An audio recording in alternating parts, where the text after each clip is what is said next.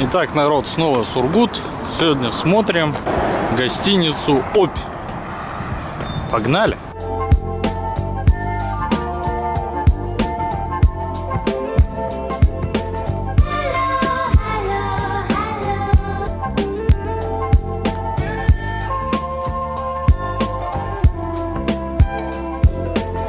Что-то я не понял, где вход?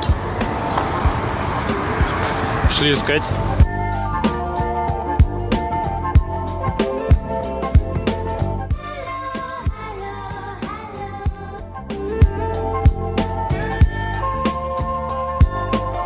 У меня люкс? Не, не люкс.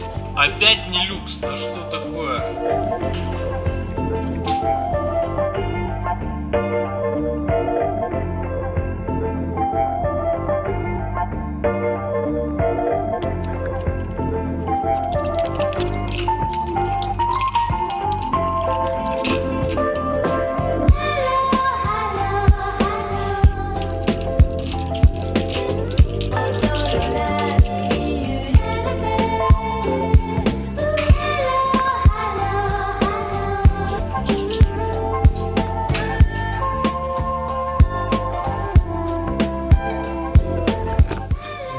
Такой вот этот номер. Есть кондер, кровать, полка, стул, стол, телефон, телек, лампочки, шкаф, холодильник, стакан, графин, полотенце, две подушки на гостя. Вид из окна, ребят. Вот здесь есть балкон. А вот выхода на этот балкон нет.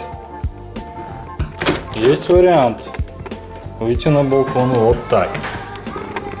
Оп. Посмотрим, есть ли выход на балкон с соседнего номера. А вот у моего соседа есть выход на балкон. Обидно. Уровень темноты в номере. Ну, больше светло, чем темно, ребят. То есть, если захотели поспать днем, то вот какой-то такой уровень темноты разделочная доска, холодильник Саратов. Ништяки, ребят. Кто-то оставил мне бутылку колы. Посмотрим, как давно она здесь лежит. Ну, достаточно свежая. Дата выпуска 16 мая. Спасибо тебе, дорогой гость, который позаботился обо мне. Полотенце, ребят. Для чего оно лежит? Здесь в холодильнике непонятно, но по всей видимости так надо. Давайте включим его, проверим работоспособность. Затарахтел, значит работает. Вешалки без противоугонной системы. Щетка для обуви, ложечка. За ложечку сразу плюс 5. Вот щеточка для чего-то другого. По всей видимости для одежды. Но по ее состоянию видно, что ее используют для обуви. Не вижу, что здесь. Смотрите сами. Оп, ничего, здесь нет ничего. Здесь тоже у нас пустота. Это что такое? Здесь прайс на услуги. Комната у меня номер два. Здесь комната номер один. Идем смотреть туалет на два номера. Все достаточно чисто и, на мой взгляд, приемлемо курить нельзя. Как-то так. Вот такая табличка. Еще один ништяк, ребят. Швейный набор. Ну, по всей видимости, он здесь должен быть по умолчанию. Лайфхак. Гостиничный. Оп.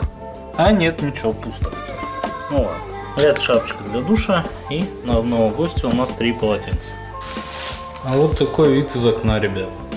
Вот, отсюда очень прекрасно видно торгаш City Mall. Про него я уже рассказывал вот в этом видосе. Ссылка сверху справа. Знаете, этот номер мне очень напомнил отель э, в городе Дубна. Это мой первый недообзор. Был ссылка в правом верхнем углу сейчас появилась.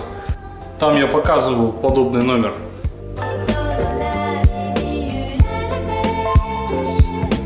Короче, народ, история такая. Две недели назад жил в гостинице «Маяк». По случайности забыл в номере при выезде свой зарядник от телефона. Когда приехал домой, обнаружил пропажу. Сразу позвонил им, попросил мой зарядник не осваивать, а отложить до того момента, пока я его приеду и заберу. Идем проверять, что стало с моим зарядником спустя две недели.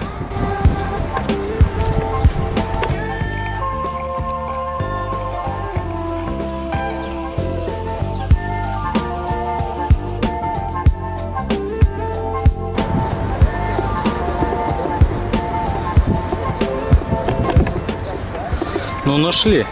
Очень приятно. Спасибо. Вот вы представляете, оказалось, что у нас в гостинице Есть такое. Опь! Оказывается, есть вот такая история, ребят. Вот она. И молчали. А теперь, народ, давайте посмотрим, что говорят люди на букинге про отель Опь в городе Сургут. Просторные номера отеля Опь с балконом оформлены в индивидуальном стиле и оснащены телевизором с плоским экраном, холодильником и телефоном. Насчет балкона скажу, что балконы в двойных номерах. У соседа есть выход на балкон, а у тебя нет. Это позволяет ему подсматривать за тобой, а ты вот за ним подсмотреть никак не можешь. Дискриминация, ребят. Почитаем отзывы. Общая оценка отеля 8,6. Один очень плохой и два плохих отзыва. Смотрим. Очень плохо. Завтрак улыбка. Не улыбка. Заселился в три ночи. Взяли за полное проживание, сказав, что выезд до 12. А в анкете указали другой день заезда, выезда. Что сказать? Документы нужно проверять на месте. Как говорится, куй железо, не отходя от кассы. Улыбка, только белоснежное постельное белье. Белье действительно белоснежное. А все остальное не улыбка. Ноябрь 17. Очень давно. Октябрь 17. Улыбка ничего, не улыбка запахи. Давайте понюхаем.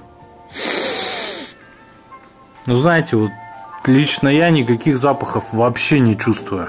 Октябрь 18 год. Абсолютно не собранные специалисты на ресепшн. 90-е. Питание по талонам. Обслуживание в номер отсутствует. Работать и работать над персоналом. Невнимательные в номере либо душно, либо холодно. Неудобные кровати. Но очень чисто. Быстрое заселение улыбка, не улыбка, отвратительное питание, некомпетентный персонал в кафе. Пошли проверим. Итак, народ, у меня есть талон. Пошли смотреть, чем кормят. Знаете, подобные талоны мне очень напомнили мое детство. В детстве с такими талонами я ходил за молоком. Маме на работе бесплатно давали молоко. И раза два или три в неделю я с бидончиком через половину города шел за молочком. Путешествие это всегда было очень увлекательным, потому что после того, как тебе налили полный бидончик молока, тебе нужно было донести его домой и правильно не расплескать. Я прям помню.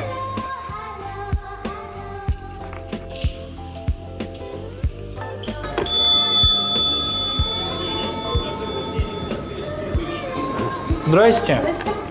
У меня есть талон. Наложено. Что делать? Комплексы можете выбрать. Вот. Так. Нужен первый комплекс полностью, либо второй комплекс. Тоже полностью. Ну да, как бы это комплексы.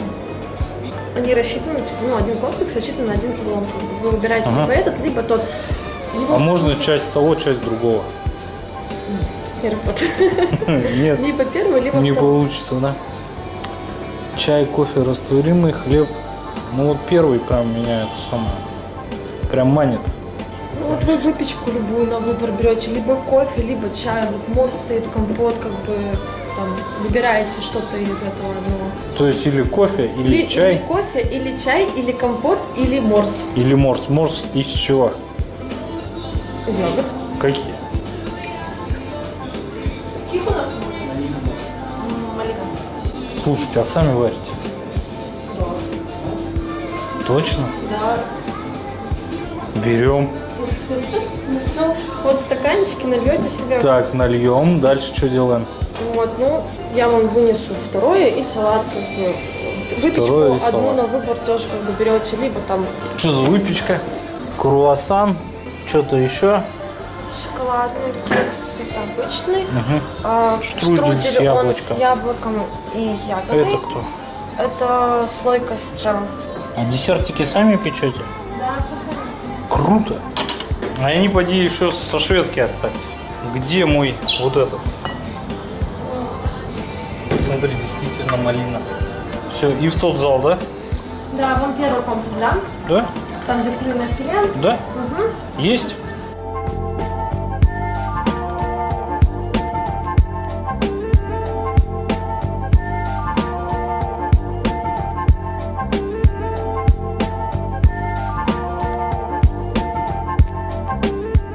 Был очень приятно удивлен поварам и официантам респект.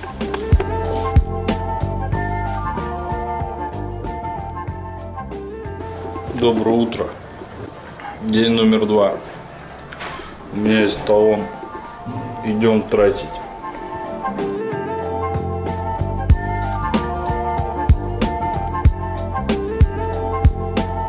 Доброе утро. У меня есть талон. Кстати, шведский А у вас есть шведка, да? Круто. Мазик. Сэндвич.